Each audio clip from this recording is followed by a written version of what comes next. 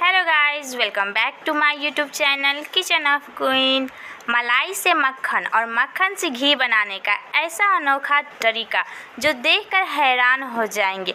ना मशीन, ना मथनी, केवल हाथों से निकाले मलाई से शुद्ध देसी घी। आज मैं आपके साथ बस छः दिन की ही मलाई से घी निकालना बताऊँगी। वो भी बहुत ही इजी टिप्स और ट्रिक्स के साथ और इसमें एक सीक्रेट टिप्स भी छुपा हुआ है, जो आपको वीडियो में देखते ही आपको पता चल जाएगा। अगर आप इस तरीके से घी निकालते हैं तो आपकी भी घी बहुत ही अच्छी बनेगी, पूरी की पूरी देसी स्टाइल घी बनेगी। तो चलिए वीडियो स्टार्ट करते हैं। उससे पहले अगर आप मेरे चैनल पर नए हैं तो सब्सक्राइब करने के साथ बेल आइकन को ज़रूर प्रेस कीजिएगा ताकि मेरी आने वाली वीडियो की नोटिफिकेशन आपके पास डायरेक्ट पहुँच सके। तो देखिए, मैंने यहाँ पे बस छः दिन की ही मलाई ली हूँ तो आप लोग रोज़ की रोज़ मलाई को एक बाटी में निकाल के रख लीजिएगा। तो चलिए हम स्टार्ट करते हैं। तो इस तरीके से आप कोई भी पतीला ले लीजिए या कोई भी बॉल ले लीजिए और उसमें आप मलाई को निकाल लीजिए। तो मैं यहाँ पे बस छः दिन की ही मलाई का यूज़ कर रहे हैं। आप लोग छः से सात दिन से ज़्यादा की मलाई का आप यूज़ नहीं कीजिएगा, नहीं तो मलाई ख़राब हो जाएगी। इसलिए आप छः से बस सात दिन की ही मलाई का यूज़ कीजिएगा और देखिए हाथों से ही इसे अच्छी तरह से घुमाते जाइए और इसे राउंड राउंड घुमाते जाइए, आपकी भी अच्छी तरह से। मथ जाएगी ये मलाई। अगर आपके घर में मिक्सर नहीं है या फिर मथनी नहीं है या फिर रही नहीं है तो आप लोग इस तरीके से हाथ से अच्छी तरह से इसे मथ सकते हैं। हमारे हाथ ही हमारे लिए बहुत ही उपयोगी है। इस मलाई को आप बस पाँच मिनट तक ही मथिए क्योंकि ये पाँच मिनट के बाद इसमें से मलाई में से मक्खन निकल कर आ जाएगी। इसीलिए आप इसे ज़्यादा नहीं मथिए अगर आपके पास रही है तो आप रही का भी यूज़ कर सकते हैं। उससे भी मलाई इस मक्खन बहुत ही अच्छी तरीके से निकलती है। तो देखिए, पाँच मिनट हो चुकी है। तब इसे मैं पानी में डुबो कर देख लेती हूँ। अगर इसका मक्खन ऊपर आ जाएगा तो समझ जाइएगा कि मलाई से मक्खन निकल के रेडी हो गया है। तो देखिए, इसमें मैं ये मलाई को ऐड की हुई हूँ तो आप लोग देख सकते हैं मेरी मक्खन ऊपर में तैर रही है। मैं दूसरी बार भी दे रही हूँ तो देखिए ये ऊपर से तैर रही है, ये नीचे में तली में नहीं बैठी हुई है। इसका मतलब कि मेरी मक्खन रेडी हो गई है। तो बस देखिए, इसे एक से दो बार और इसे अच्छी तरह से हम मिला लेंगे या फिर फेंट लेंगे। इस तरह से हाथ को आप राउंड राउंड घुमा लीजिए और बीच में इसे कर लीजिए। अब इसमें पानी को ऐड करेंगे जिससे कि ये मक्खन ऊपर आ जाएगी। तो इसलिए मैं इसमें मैं पानी को ऐड कर रही हूँ। इस तरह से आप पानी को ऐड कर दीजिए। आप लोग इस वाटर को भी यूज़ कर सकते हैं, नहीं तो आप फ्रेश वाटर का भी यूज़ कर सकते हैं। हालाँकि मैं ये मक्खन की ही पानी है तो मैं इसमें ऐड कर रही हूँ। तो इस तरह से देखिए और आप इसे एक से दो बार अच्छी तरह से हिला डुला दीजिए। और इसमें से आपकी मक्खन अलग जाएगी। तो देखिए, इस तरह से मेरी मक्खन तो निकल गई है और देखिए, मेरी मक्खन अपने आप ऊपर आ रही है। तो देखिए, अब मैं इसके, इस सारे मक्खन को निकाल लूँगी। तो देखिए, इस तरह से मेरी गोल गोल एकदम मुठला वाली मक्खन निकल रही है। तो मैं इसे एक बाटी में इसे निकाल रही हूँ और देखिए, इस तरह से मैंने यहाँ पे सारे मक्खन को निकाल करके एक बॉल में रख ली हुई हूँ। और देखिए, इस तरह से आप इस पानी का यूज़ कर सकते हैं। इस पानी का यूज़ आप बहुत चीज़ों में कर सकते हैं। इस पानी को फेंकिएगा नहीं। इसके आप आटा गूँथने में कर सकते हैं। तो इसका यूज़ आप कीजिएगा या फिर कढ़ी बड़ी बनाने में भी आप कर सकते हैं। अगर आपको कढ़ी बड़ी की रेसिपी चाहिए तो कमेंट ज़रूर कीजिएगा। मैं आपके साथ ज़रूर शेयर करूँगी। तो देखिए, इस तरह से एक बॉल में मैं यहाँ पे सारे मक्खन को निकाल करके रख ली हूँ। मैं आपके साथ एक सीक्रेट बात शेयर कर रही हूँ। जब भी आप घी को स्टोर करते हैं तो आप प्लास्टिक के जार में कभी भी स्टोर नहीं कीजिएगा। आप शीशे वाली या कांच वाली जार में स्टोर करिएगा घी को। इससे ये होता है कि आपकी घी बहुत दिनों तक चलेगी। साल दो साल आपकी घी टिकेगी और अच्छी तरह से वो चल जाएगी। अगर आप प्लास्टिक वाले में स्टोर करके रखते हैं तो वो घी महक भी सकती है। इसीलिए आप शीशा या फिर कांच वाले जार में ही घी को स्टोर करके रखिए। तो चलिए अब हम घी बनाने के प्रोसेस पर चलते हैं। इसके लिए मैंने यहाँ पे गैस पे कढ़ाई को गर्म करने के लिए रख दी थी और उसमें मैं ये सारे मक्खन को उसमें ऐड कर दी हुई थी। और देखिए, इस तरह से आप ऐड कर दीजिए और आप यहाँ पे छोलनी या स्पोचुला की हेल्प से इसे फैलाइएगा नहीं। ये खुद पर ही खुद ऐसी तरह से अपने आप ये फैल जाएगी और इसमें से बुलबुले निकलने लगेंगे।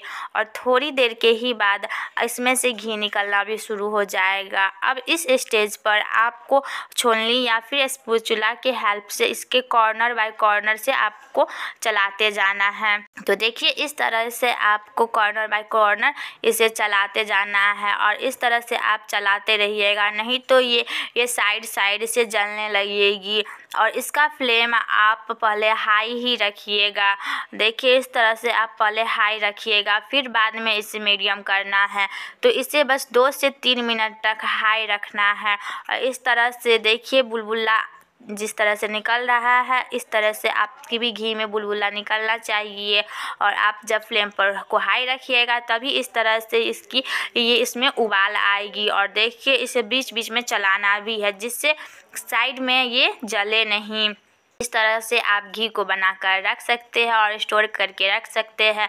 अब आप भी देसी घी वो भी घर पे बनाइए बिना किसी झंझट के। इसमें बहुत लोग नमक भी डाल देते हैं, लेकिन यहाँ पे नमक को हम अवॉइड किए हैं। इसमें नमक नहीं डालिएगा, क्योंकि वो घी फिर नमकीन हो जाती है। अगर आपको वर्त में घी को डालना है तो आप उसमें नमक वाले घी का तो यूज़ नहीं कर सकते, हैं ना? इसीलिए तो देखिए, आपको मैं साइड साइड से दिखा रही हूँ। इस तरह से देखिए, अभी ही इसमें घी निकलना शुरू हो गया है। इस स्टेज पे आपको गैस के फ्लेम को मीडियम कर देना है और फिर देखिए इसे तीन से चार मिनट तक और इसे अच्छी तरह से पकने दीजिए और इसमें से घी का कलर निकल आया है। इसे अच्छी तरह से फिर इसे अच्छी तरह से चारों तरफ़ से बस साइड साइड से आप छोलनी की हेल्प से इसे एक कॉर्नर बाय कॉर्नर छोड़ाते जाइएगा क्योंकि ये जमने लगती है और तले में चिपकने लगती है और इसी तरीके से आपकी घी बन के रेडी होगी। अगर मेरी वीडियो आपको पसंद आ रही हो तो एक लाइक तो कर दीजिएगा फ्रेंड्स और आप कहाँ से है, कहाँ से मेरी वीडियो को देख रहे हैं, ये कमेंट सेशन में ज़रूर लिखिएगा फ्रेंड्स तो देखिए, इस तरीके से आप अब गैस की फ्लेम को पूरा लो कर दीजिए और बारी बारी से सारे घी को एक बॉल में निकाल लीजिए।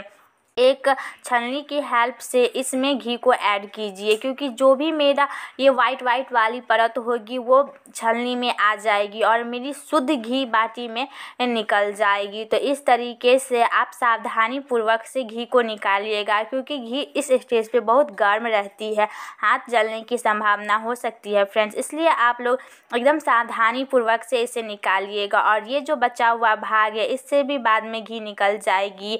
और इस तरीके से से आप देखिए घी बन करके निकल जाएगी आपकी मेरी घी रेडी है। इस तरीके से आप घी बनाइए और वो भी पूरी इजी प्रोसेस में। तो आप लोग बता सकते हैं कि मेरी ये घी किस तरीके से बनी है और कैसी लगी आप लोग को। एक कमेंट ज़रूर कीजिएगा फ्रेंड्स तो देखिए, अब आप इसे ठंडा होने दीजिएगा दस मिनट, पंद्रह मिनट के लिए और फिर आप इसे शीशे की जार में इसे ऐड कीजिएगा। तो देखिए, मेरे पास इस तरीके, एक इस तरह की एक शीशा की जार है कांच वाली जार है तो इसमें मैं अब घी को ऐड कर रही हूँ। इसमें मेरी पहले से ही घी हुई थी ही और, मैं इसमें ऐड कर रही हूँ। इस तरीके से मैंने यहाँ पे इसे भर दी हुई हूँ और इसका ढक्कन में लगा दूँगी। तो इस तरीके से आप लोग इस तरीके वाली इस शीशे की जार लीजिएगा, बड़ी हो या छोटी हो, कोई फ़र्क नहीं पड़ता है, लेकिन आपको शीशा का ही जार लेना है। आपको प्लास्टिक वाली जार का यूज़ नहीं करना है। और देखिए, इस तरीके से बाद में वह जल करके इस तरह से ये निकल कर आ जाएगी। बहुत सारे लोग जब घी को बनाते हैं तो ये जो घी की खोकरन है, वो ज़्यादा निकलती है और घी कम निकलती है।